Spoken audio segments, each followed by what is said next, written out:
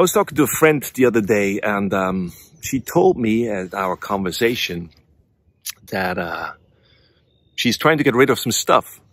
Um, we all do, I guess, or at least we think about it. And it made me think myself uh, because she said, yeah, my, my husband tries to sell stuff from Facebook Marketplace and other places, you know, just get rid of some stuff because eventually, um, I do this now or start to do this now, the clutter and the stuff that accumulated over the years, or my kids eventually will have to do it because after I'm gone. And this is one of the things in my own experience, like what do we leave behind? Uh, even with stuff. I mean, material things, whatever they are, how much do we need of it? And that's a whole nother story. But uh, think about what you need in life. What do we need in life? Basics. And uh, I come back to that, I circle back to that because, you know, just want to finish this with my friend. And so she, she was uh, talking to Cher about this, like when she was in her 20s. Like there's a lot of things she didn't have, she didn't need. And uh, she's now in her 50s and looking back, like, what happened? what happened in this 30 years plus that uh, I got all this stuff now and half of it, or probably more than that, I don't really need. But we have it.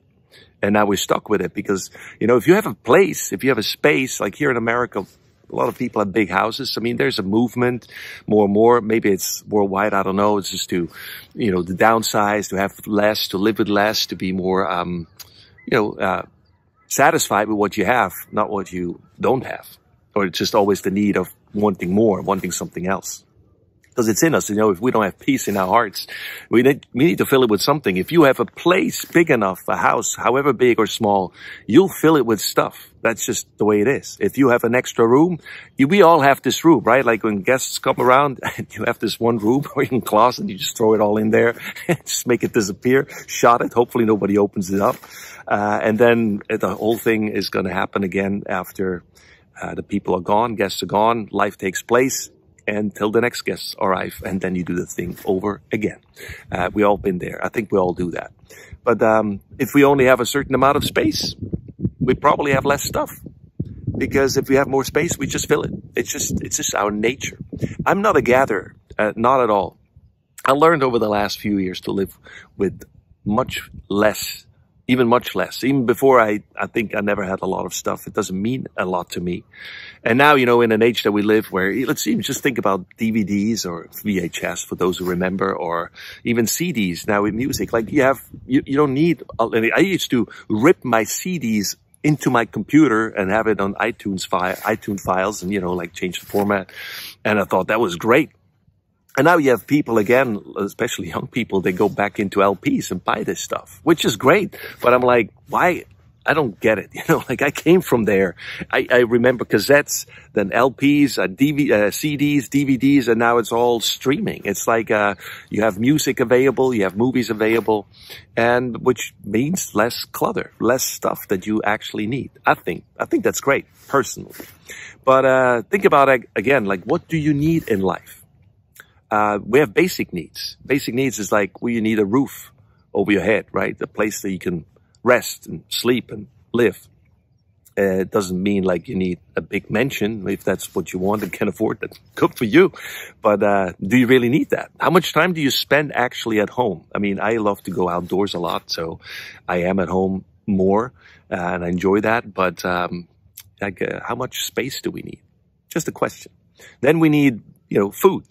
And uh, since uh, the last two years, a lot of people have embraced uh, cooking again, especially here in America, because uh, you couldn't go out, they didn't want to go out, and actually it costs, you know, costs something to go and eat out other than do it yourself. And actually, I personally have always enjoyed cooking, and uh, you know, whether the last two years happened or not, I always did that, still do that, and enjoy it. And it's cheaper, and it's better. I think. Uh, so we need food. We need these basic essentials to feed ourselves. And then we need um, clothes.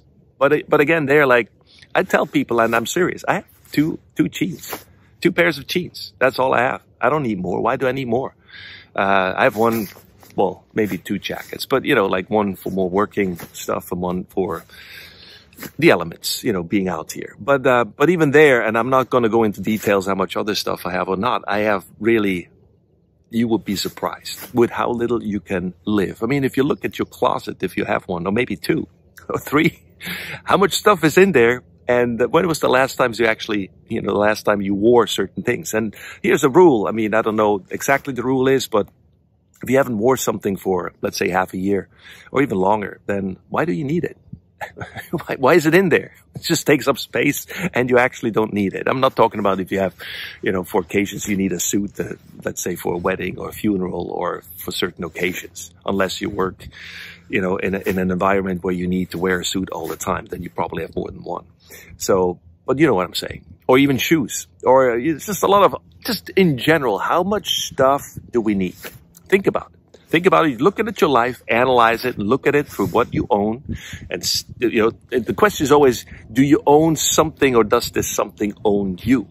How much time do you spend for it? How much time do we spend shopping and getting more stuff? And how much is enough? And I had the conversation with somebody else. It's like, I do this, I get this, I get this, but I'm never satisfied. No, you're not satisfied because those things eventually will not satisfy you.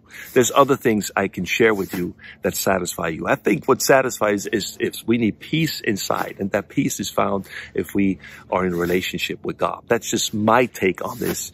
Um, what works for me and what I see works for other people that I know as well. But you know, if there was no peace inside, we keep searching, we keep looking, we try to fill whatever we think we need to fill our lives with, with stuff, let's say material stuff. There's other things, obviously, that we can fill it with. I'm just talking about stuff now. What do we need to live?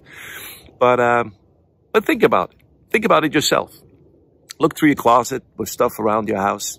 And uh, maybe it's a good idea that not whoever comes after you has to deal with this, but you, you deal with it yourself, not somebody else. That's your fight. That's your battle. You can do it. And, uh, because, you know, as I realized when I helped or cleaned out the house of my parents after my dad passed away, so much stuff, so much stuff, man. And at the end, you know, there's a few items that meant something to me. Obviously, there's others that meant something for my sisters or my mom from my dad, but a lot of stuff what meant something to him doesn't might, doesn't necessarily mean something to me or to somebody else. But I got some objects that are really, really, really, I felt uh, have a, a, rela- a, a connection to, maybe a relationship, because it's it belonged to my dad and it means something to me, a nostalgic value. Not even the material worth of something. Man, this is worth a fortune, you know, with money. No, this is worth a fortune for me, for my heart. So these objects are great hopefully hold on to that and maybe we can pass it on. But there's a lot of stuff that, listen, nobody, nobody will give a flip if we're gone, if I'm gone, that because it doesn't mean anything to anyone. Um, certain things. So hold on to those things that mean something, uh, have a value for you personally, and get rid of the of the rest. You know, do some, do some, uh, throw some stuff out. Why not? Why not go right now and look through it and say, I don't need this anymore. Give it to somebody or put it on, on marketplace or somewhere or, you know, sometimes you just put it outside and somebody will pick it up. Anyway, that's just my perspective on this. That's just thanks for listening. Thanks for watching. Um, declutter, uh, downsize, um, live with less. Um, what do you need? What do you need to live? Thomas out. Bye bye.